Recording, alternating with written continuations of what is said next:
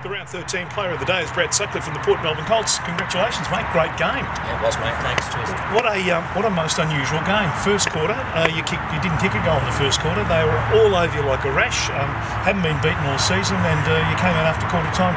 Well, was there some magic elixir? Did did Ben say something? What, uh, or did you just did, were you just flat when you started?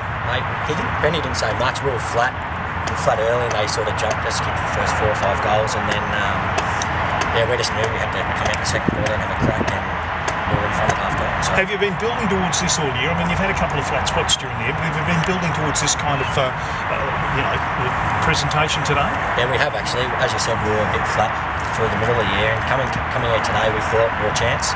We know when we play our best footy, we can beat anyone, and you've seen that today.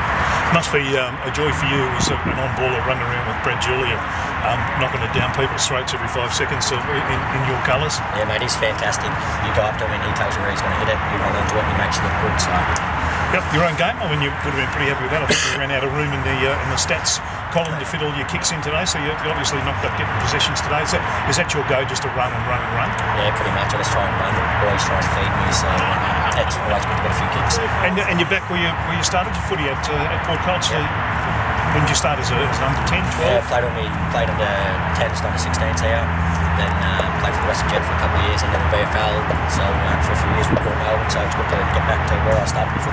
And uh, win like today, knocking Spotswood off the first time they've lost a game this year. That uh, that's certainly something to build on for the season for the for the finals, isn't it? Yeah, definitely. Now um, everyone knows Spotty they can can be beaten. So we'll. Um, yeah, it gives us a lot of confidence heading into uh, the later rounds of the year. It, it tells people Spotty can be beat, but also tells people that you're yeah, you're it. in there and you're, you're a big chance for uh, you know going deep into the finals in September. That's it. When we play our best footy, we can beat anyone. So.